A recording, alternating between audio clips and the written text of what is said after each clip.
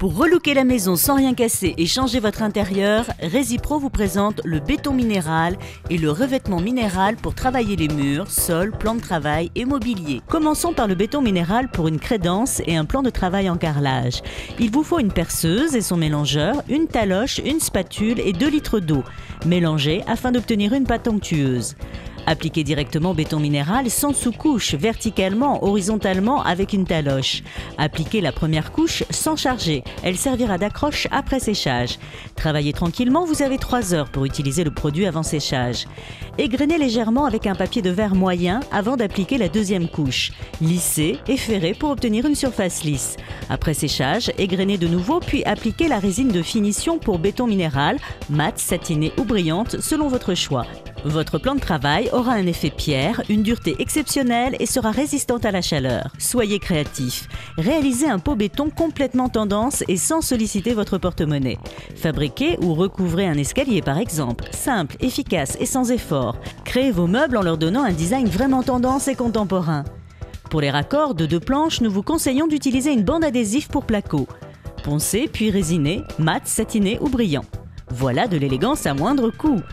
Au fait, vous pouvez également créer votre douche à l'italienne. Béton minéral est un mélange de pierres naturelles. Rappelez-vous, c'est facile et surtout confortable à appliquer. Vous avez plus de 3 heures pour travailler la matière avant séchage. Appliquez, égrenez, résinez et voilà, le tour est joué. Pour les sols carrelés, appliquez à la taloche béton minéral directement et sans sous-couche. Vous obtenez ainsi un revêtement dur comme de la pierre. Égrenez légèrement pour éliminer les grosses imperfections. Appliquez la deuxième couche tranquillement à votre rythme, vous avez plus de 3 heures pour travailler le béton. Étalez, lissez, ferrez. Laissez sécher. Égrenez finement avec un abrasif fin sans forcer. Appliquez la résine de finition pour béton minéral mat, satiné ou brillante, au rouleau mousse ou à laquer selon votre choix. Et voilà un sol élégant, facile et rapide à réaliser. Parlons de vos murs. Si vous désirez obtenir un effet lisse et marbré, alors appliquez revêtement minéral fin. Directement et sans sous-couche, appliquez revêtement minéral sur le support.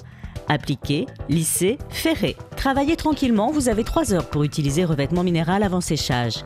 Laissez sécher.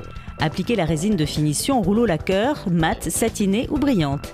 Et voilà une création très tendance.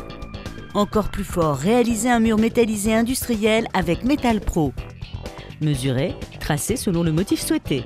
Utilisez un gros clou pour creuser les joints de votre motif industriel. Affinez les joints à l'aide d'un abrasif fin. Égrenez, époustez, appliquez la bande adhésive rivetée. Une astuce pour éviter les débordements, collez un adhésif de masquage. Appliquez revêtement minéral sur les bandes rivetées. Laissez sécher 10 minutes puis retirez les bandes adhésives. Laissez sécher 2 heures. Égalisez les rivets avec une laine d'acier double zéro. Passons maintenant à l'étape métallisation.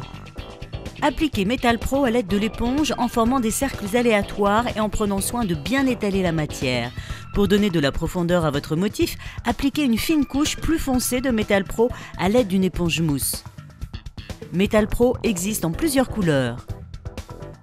Resipro, les solutions de rénovation et de décoration pour les pros.